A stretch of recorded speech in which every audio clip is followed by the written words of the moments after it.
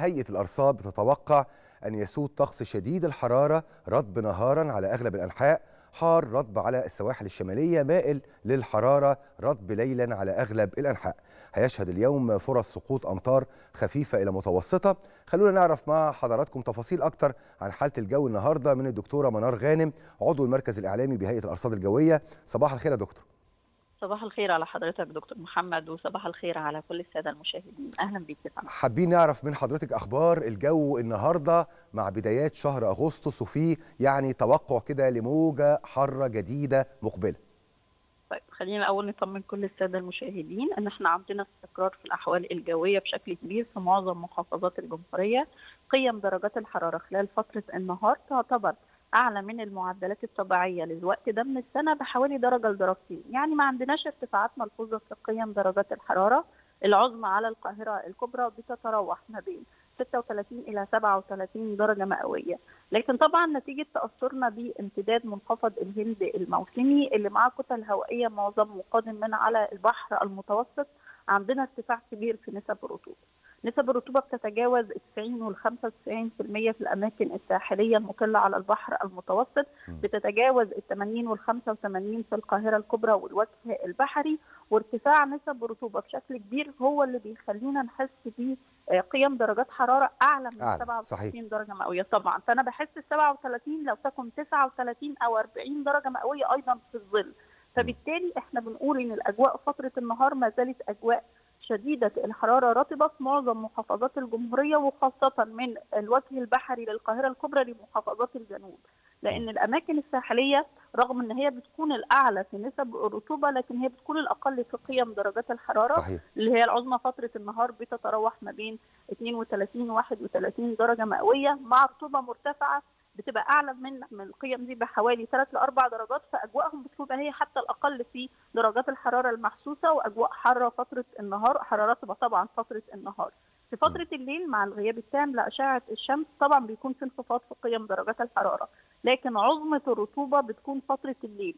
خاصة كمان إن إحنا عندنا اعتدال في سرعات الرياح بشكل كبير في معظم المحافظات مم. يعني اعتدال في سرعات الرياح يعني سرعات الرياح قليلة مم. فبالتالي ده بيحسسني بنسب الرطوبة بشكل كبير فترة الليل فما زالت أجواء فترة الليل أيضا هي تمام. أجواء مائلة للحرارة رطبة في معظم محافظات الجمهورية مم. كمان حصل اعتدال كامل في سرعات الرياح على البحار في. الأيام الماضية كان في ارتفاع أمواج على البحر المتوسط بشكل كبير اليوم اعتدلت سرعات الرياح فبالتالي ارتفاعات الموج لا تتجاوز 2 متر ما بين 1 ل 1 ونص متر على البحر المتوسط وأيضا كمان البحر الأحمر. فهم مؤهلين تماما لكافة أعمال الصيد والملاحة البحرية. وأعمال التنزه. بالنسبة لفرص الأمطار فرص الأمطار في النهارده آه، دكتورة منار يعني احتمالية سقوط أمطار خفيفة إلى متوسطة في بعض آه، ال- المناطق.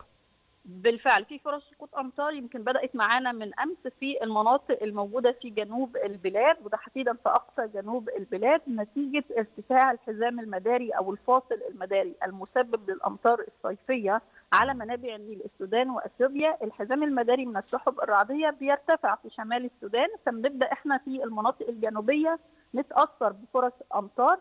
هتكون أمطار اليوم خفيفة إلى متوسطة ممكن تكون كمان أمطار رعدية في بعض الأماكن من حلايب شلاتين راس بناس ده جنوب سلاسل جبال البحر الأحمر أيضا مناطق كمان من أبو سمبل أسوان محافظة الوادي الجديد دي المناطق اللي هيكون عليها الأمطار المتفاوتة الشدة والرعدية وكمان عشان هي أمطار رعدية ممكن يكون معاها نشاط للرياح المثير للرمال والأتربة. صحيح. ممكن كمان الأتربة تؤدي لانخفاض الرؤية الأفقية. م. لكن المحافظات الشمالية ما فيهاش أي تقلبات جوية مش هيكون فيها أي فرص لسقوط الأمطار. الأمطار دي كمان مكملة معانا يمكن لمنتصف الأسبوع اللي جاي يعني يمكن الثلاث والأربع الجايين الأمطار لسه مكملة معانا.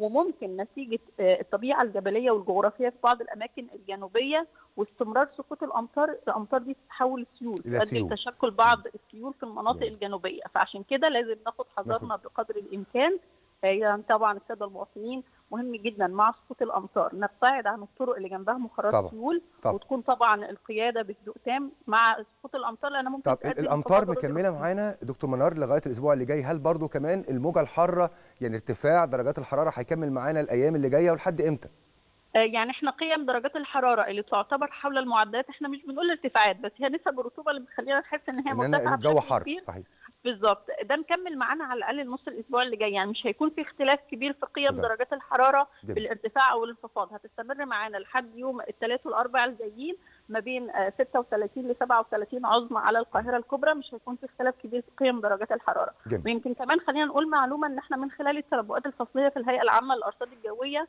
متوقع إن شهر 8 يكون قيم درجات الحرارة فيه أعلى من المعدلات الشهرية المعتادة للوقت ده. من السنة لكن. هتكون أقل من اللي إحنا سجلناها في شهر سبعة وشهر ستة. يعني الناس كلها متوقعة إن 8 يجي أعلى من شهر سبعة.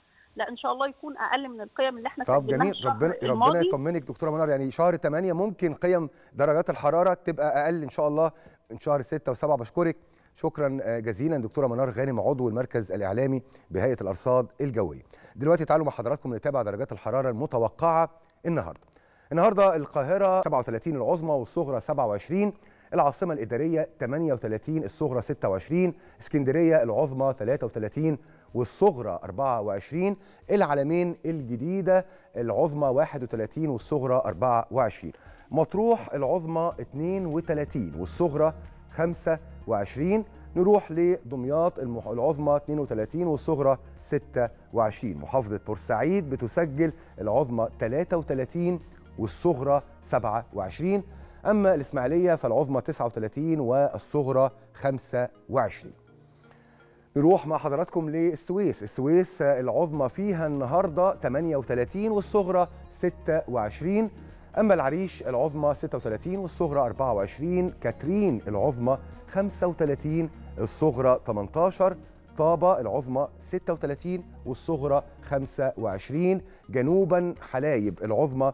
38 الصغرى 29 شلاتين العظمى 44 والصغرى 30 شرم الشيخ العظمى 38 والصغرى 30 الغردقة العظمى 39 والصغرى 30 أما الفيوم فالعظمى بتسجل فيها 39 والصغرى 25 بني سويف العظمى 35 والصغرى 25 الوادي الجديد 43 24 أسيوط العظمى فيها 41 الصغرى 25 محافظة سوهاج العظمى 41 والصغرى 26 قنا العظمى 42 والصغرى 26 الأقصر العظمى 42 والصغرى 27 أسوان اللي بتسجل أعلى درجة حرارة في محافظات مصر النهاردة العظمى فيها 44 والصغرى 29